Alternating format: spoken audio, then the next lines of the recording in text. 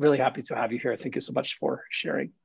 Thank you very much. Next, much. we have Brian Kardell from Igalia uh, on a, a, video he recorded. And, and, the work that we do with Igalia, we've been working with them for a couple of years. If you don't know who they are, uh, I'm not surprised. They are not a browser vendor. They're not a mega billion dollar company. Uh, they're a name that very few people have heard unless you actually work on the web platform itself, where Igalia has, uh, they are committers to WebKit, Chromium, and Gecko.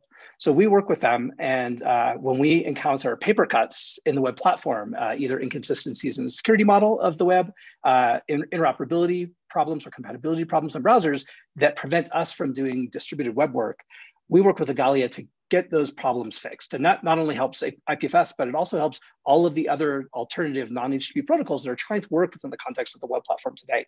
Um, so this is very important work, and uh, uh, it's really a pleasure to be able to have Brian explain what Igalia is, what they do, and some of the things that we've done together.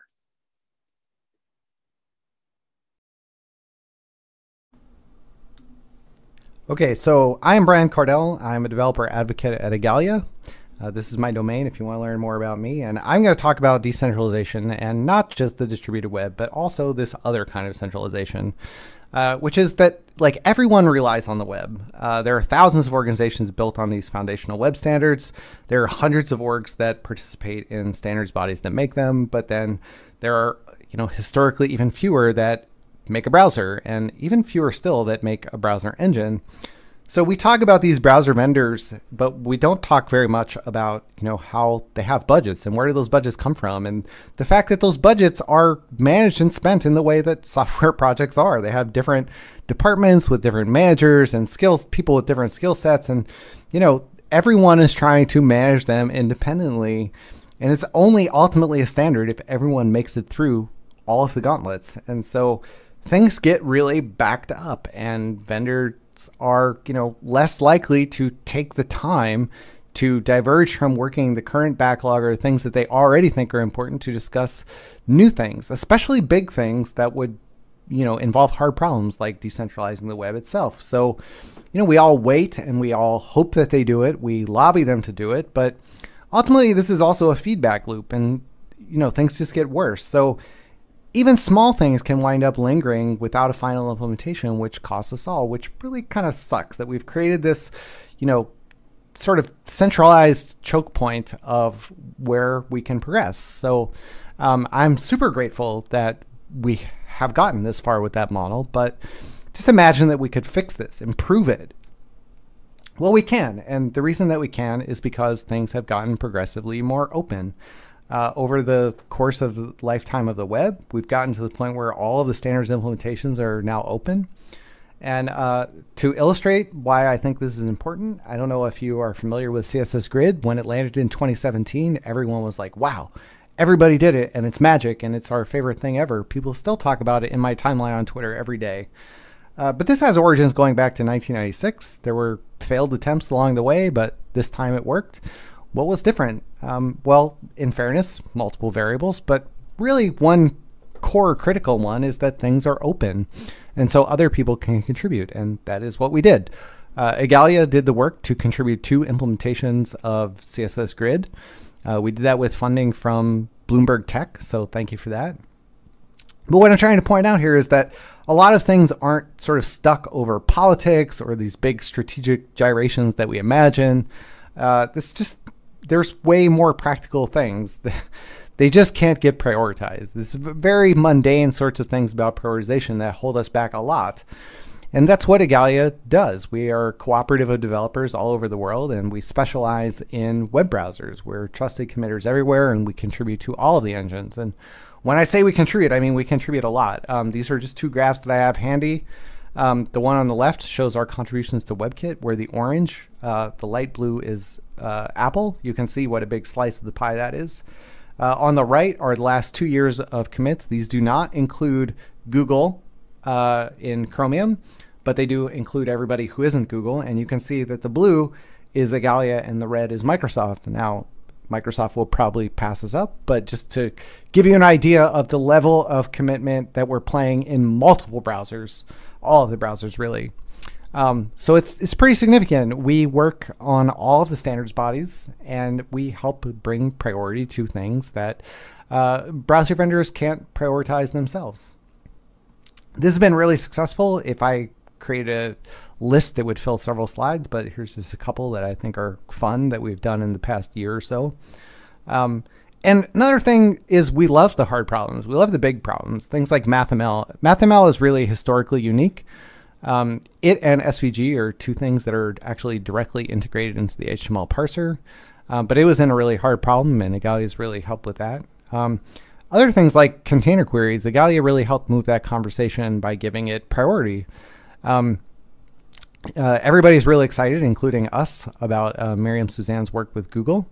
Uh, but you know, our proposals and prioritization helped push that from the outside a little bit. And in fact, we demonstrated a working prototype in Chromium the same week that they announced taking up the better proposal. So, um, also has, which is like parent or ancestor selectors, uh, have been in and out of CSS selector specification since the late 90s. Nobody has been willing to touch that because it seems like impossibly hard. Um, but Igalia has a working prototype in Chromium that was funded by work by uh, eyeo. So we think that's like fantastic. We're excited about that. So what I'm trying to say here is like this is a really good thing. We can accomplish great things if we work together, and that's great because we all move forward together. Um, so it is kind of a commons that we should all try to play some kind of role in, and we don't know what kind of roles we can play until we talk about them. So uh, I have a lot of thoughts on this. In fact, I have a podcast, Igalia Chats, where we have an entire series on improving the health of the web ecosystem. So if you're interested in that, check out a lot more. Uh, but really key to this is thinking about how we expand investment and prioritization, the ability to prioritize beyond these couple of very few vendors. Uh, so one way that we're able to do that is we are the maintainers of WPE, which is the WebKit port for embedded. So if you go to webkit.org slash download, you'll see it there. And it powers like billions of embedded devices. So, well, why does this matter? Um, well, another example. So if you don't know Sarah Drasner, she is an SVG guru, enthusiast, expert. Um, and she's long been a proponent asking for hardware accelerated SVG. This is actually a really difficult problem technically for reasons you can listen to on our podcast. Uh, but uh, is very difficult to prioritize because for a lot of the web, SVG is not sort of the top priority. Uh, but this work is coming to WebKit, and the reason that it is coming to WebKit is because of cooking machines. Uh, well, not exactly just cooking machines, but all embedded systems. So this is the Thermomix TMZ6 by Vorwerk. And that little screen on there is an embedded WebKit. Uh, all of these things in, you know, car infotainment systems and video games and televisions and, you know, appliances and digital signage and point of sale, they're all using the web to make their interfaces. And what's interesting about embedded is that it is actually of core importance to have hardware accelerated SVGs there because these devices are less powered. They all have a GPU for the most part. And um, the kinds of interfaces that you frequently want on these are more SVGs. So that's really important, and we're able to help bring new investment that will benefit everyone. I think that's great.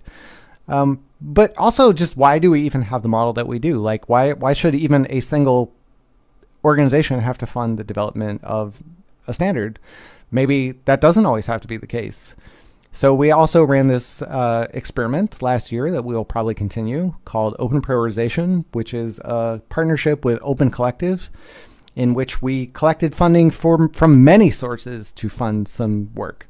So we think that's really interesting, and we hope that that helps sort of decentralize the ecosystem of investment and our ability to get things done. So, okay, but decentralizing the web itself, uh, it's a big challenge. It's the kind of challenge that we like. Uh, it's a big challenge for a lot of reasons. Um, and all of these reasons, you know, pile up, and each one independently is subject to all of these prioritization filters and budget constraints and things. And so the investment from, you know, the main browser vendors might not be as great as everybody would like. But that's okay because we can supplement that. And so uh, that's what we've been doing. We've been working with Protocol Labs. Uh, Protocol Labs has funded a bunch of work in this area from Igalia. We have worked on improving Register Protocol Handler.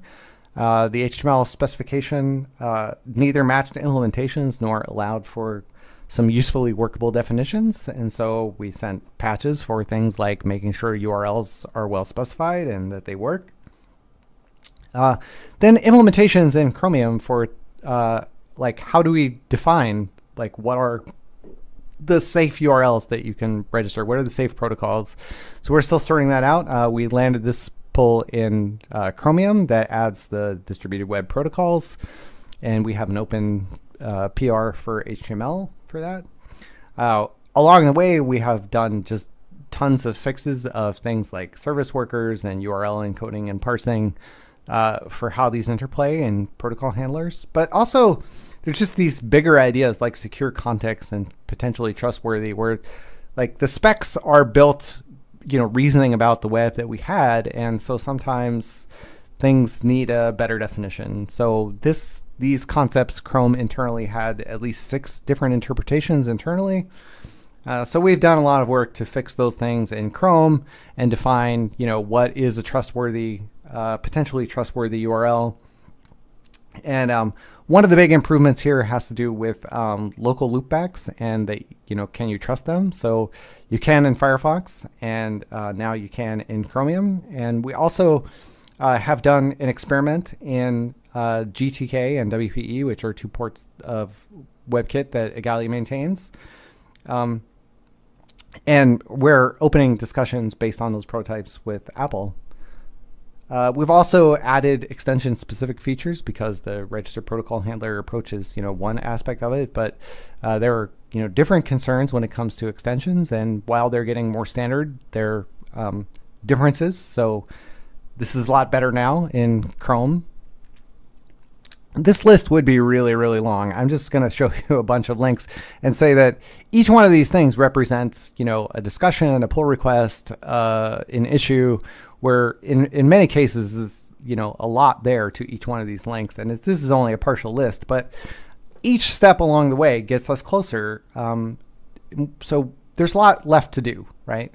Uh, so I'm going to talk to you about like a couple of things that we're looking forward to doing, uh, challenges that we're looking forward to solving. So one of them is the Chromium architecture. Chromium ar architecture has these sort of two layers, the Chrome layer and the content layer.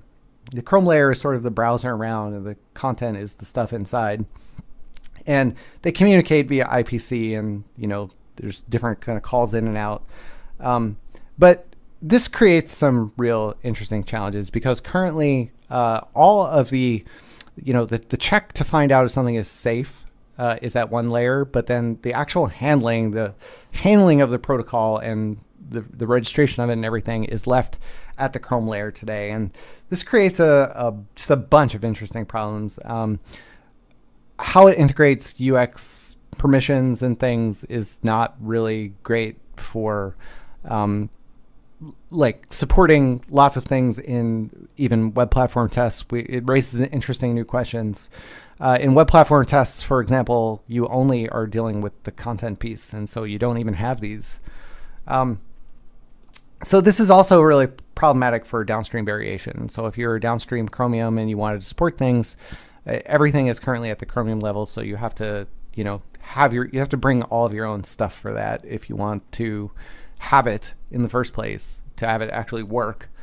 Um, and, and then you have to deal with you, you know your fork and rebasing and constant breakage and things. So we would like to move this and uh, you know change where different bits live and uh, allow even the shipping of default handlers at both levels. We think that would be really good and it would really help with downstream. And we think it could answer a lot of questions for how we would do things with web platform tests to get better universal coverage. Um, so that is what we have been working on and some of the things we're looking forward to. Uh, there are plenty more things, but if you have questions or comments or you want to talk, uh, people from Igalia will be around. You can reach out to me. Uh, thank you.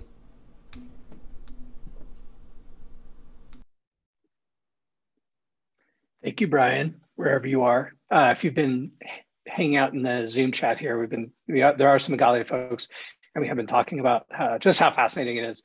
Uh, the deep dark corners of the web platform and all the things that need to be fixed and how any one of those fixes can really impact millions, hundreds of millions of end users, uh, making and and now yeah, millions of developers making their lives easier too as browsers implementations are more interoperable, more compatible, then developers' jobs, our our daily lives become easier.